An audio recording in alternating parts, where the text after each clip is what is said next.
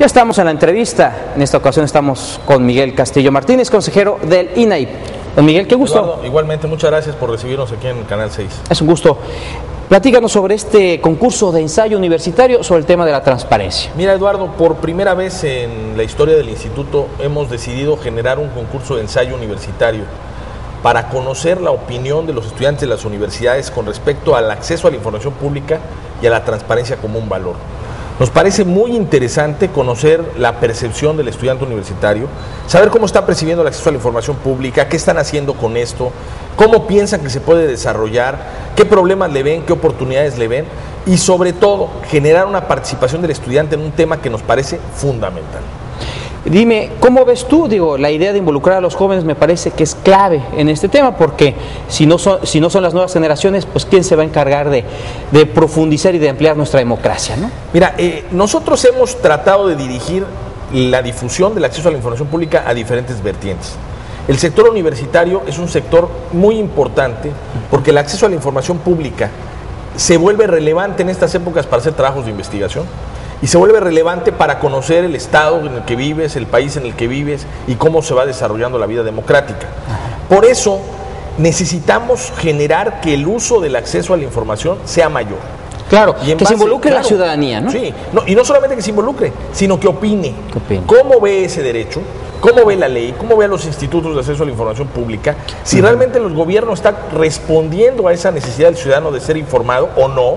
Y entonces, en base a esa percepción, nosotros seguiremos trabajando en mejorar la- la- no solamente la- el mecanismo de acceso a la información pública, sino las obligaciones que por ley deben de cumplir los gobiernos y sujetos obligados. Ahora, también la idea, me imagino, será que los jóvenes, los estudiantes realicen sus propias investigaciones. Mira, no hay como entender lo que el acceso a la información te puede dar en beneficio que hacer algo y buscarle ese valor eh, agregado.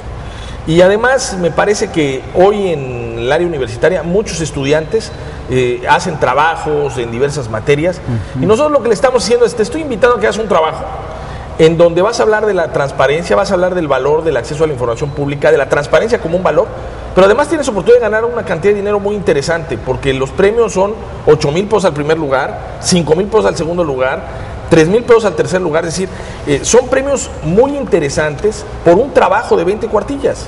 Entonces yo creo que es una forma muy creativa de difundir el derecho. Es una forma muy creativa de involucrar al joven en la transparencia, pero además nos va a ayudar a percibir el ambiente universitario con respecto al derecho de acceso a la información pública.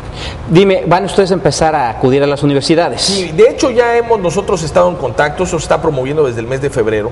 Nuestro director de capacitación, de, de difusión, eh, está haciendo un gran trabajo, llevando a todas las universidades el cartel, llevando la convocatoria, pero no hay nada como el contacto directo. Y entonces hemos estado planeando que ahora en la recta final de la convocatoria vayamos a las universidades, motivemos a los muchachos, les expliquemos la importancia de su participación y yo estoy seguro que vamos a tener una participación interesante, que va a haber muchos trabajos que nos van a dar a nosotros elementos para poder mejorar nuestro trabajo dentro del INAI, pero sobre todo va a ser un catalizador muy interesante en medio de un proceso electoral de qué es lo que lo- los jóvenes están necesitando en cuanto al acceso a la información, cómo lo ven, si los gobiernos o los sujetos obligados responden y si no, qué percepción tienen realmente de lo que estamos haciendo. Miguel, ¿cómo ves esta afirmación que hiz- hizo el IFAI sobre el tema de la falta de transparencia en las cuentas en el Congreso Federal? Mira, eh, a mí me parece que todavía en materia de acceso a la información pública hay resistencias en ciertos sectores. ¿no? La propia Cámara de Diputados a nivel federal y a nivel local siempre ha generado sus resistencias porque ellos son los que toman decisiones importantes, no solamente el nombramiento de jueces, magistrados, consejeros. Aquí el tema es que entiendan los diputados, que entienda el Congreso, que entiendan los ciudadanos lo importante que es que desde el Congreso, donde se hacen las leyes, donde se aprueban los presupuestos, se vea claramente qué se hace con el dinero asignado. Y yo creo que es un tema en el que estamos avanzando. Sí hay sus resistencias en algunos sectores, pero me parece que estamos mejor que antes. Hay que ver más el vaso medio lleno que el vaso medio vacío. A nivel local y en el interior del Estado, coméntanos cómo va esta cuestión. Ahora que va a haber cambio de presidentes municipales, ¿cómo ves esto? Mira, yo te diría que en el instituto estamos conformes con lo que se ha logrado, pero no satisfechos. Es decir, hoy tenemos municipios en un más de un 95% cumpliendo las leyes de transparencia, publicando su información pública obligatoria en Internet mediante la página del INAIP, en algunos casos en sus páginas personales. En más de un 95% hay unidades de acceso a la información pública en todos los municipios.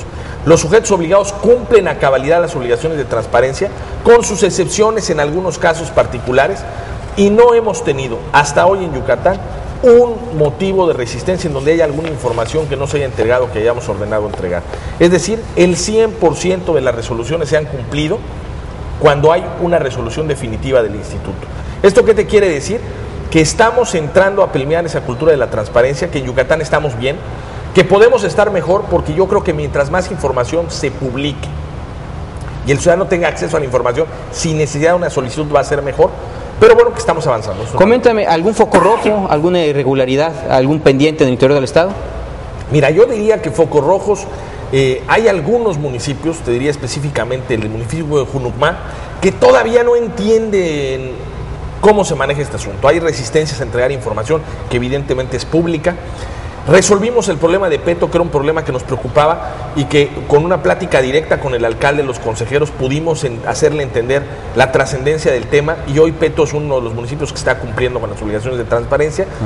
Celestún es otro problema porque eh, el alcalde y sus propias gentes no tienen ni los estudios, ni la experiencia, ni la capacidad a veces para entender todo lo que se maneja alrededor de la transparencia, pero estamos trabajando con ellos y yo creo que vamos en buen camino. Muy bien, ¿algo más que quieras agregar ya para concluir? Eduardo, agradecer el espacio del Canal 6, por supuesto solicitarle su ayuda para promover este concurso de ensayo.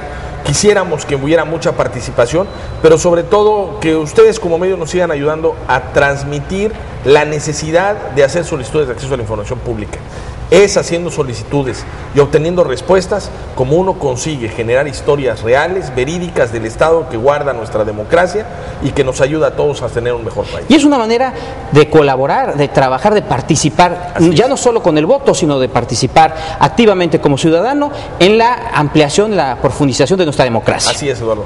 Pues te lo agradezco mucho, muchas gracias por el Ahí estamos. Mucho gusto. Continuamos.